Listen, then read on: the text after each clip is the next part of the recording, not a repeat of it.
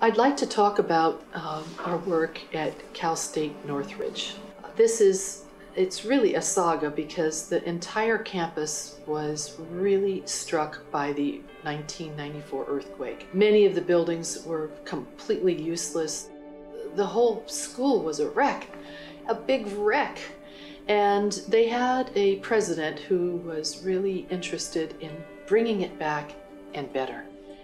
And there were so many things wrong with that campus that you couldn't have been in a better situation to fix it. So the first thing starts with the students who go there. They get into their car and they drive to school and they get out and go to a class. Then they go and they get back into the car and drive around the campus and go to the other class. So it was, people were not walking around on the campus. They were getting in their cars and driving. So we wanted to get the kids out of the car and make the campus more efficient so that we could bring all of those wonderful spaces in the center of the campus into their into their consciousness because all that they were interested in was getting in a car. Cal State Nowhere, they called it.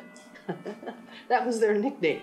Well, they had a wonderful woman president, and her VP was really encouraged by our approach to making this campus really work. And it, it was an easy change. It was a, an easy change to get the kids out of the cars and give the campus a heart everything was so spread out. So many buildings were dismantled and broken, and, and it was just a wreck, a real wreck.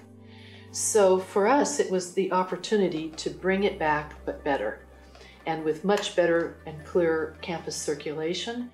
And with um, we had to reduce the size of the quad because it was ginormous. It was so big, it was just leaking out all of the edges. And it was really crowned by the campus library and then the different buildings, campus buildings, along the outside of the quad.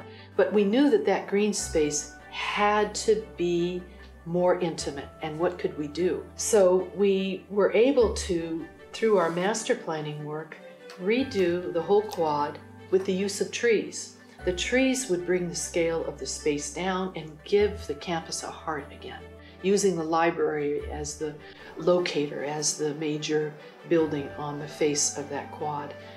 And by the time that we finished the campus work, it was really humming again, and people weren't getting into their cars because the parking was redrawn and the space between classrooms was redefined with new walkways. We had a series of parallel walkways through the rectangular shaped campus and each one had were really planted over with large flowering trees fav- favorites of southern california where there was a jacaranda walk there was the they all of the flowering trees of southern california helped people to define oh well that's where i am and it really is a way of giving people a pathway to their classes and i think that that's one of the best of the campuses um, that we've done among many.